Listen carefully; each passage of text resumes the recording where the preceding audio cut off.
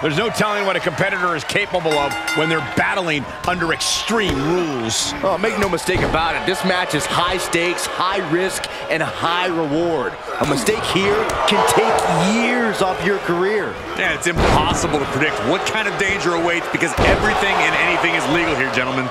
He's absorbing some tough hits now. Starting to lose a step or two, but good news is there's plenty of real estate to catch your breath. Fall-away slam. Just got thrown around like a sack of you know what. And a Oof. stop to the gut, too. Catches the clothesline. Oh, what a Spanish fly! Great counter. Followed up by another to the chest. What's the biggest risk in a falls count? This competitor is in a zone. A couple of clotheslines. They cannot fight any longer.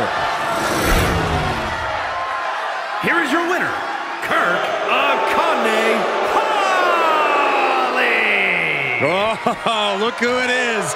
It looks like he's got a score to settle here. There you have Here's the response to this interruption. And you can't blame him for standing his ground and making him pay for the interruption. Flying. Whoa, what a landing! Ah, this is a way to incapacitate every inch of your opponent slowly, methodically, and painfully. Punishing the human body.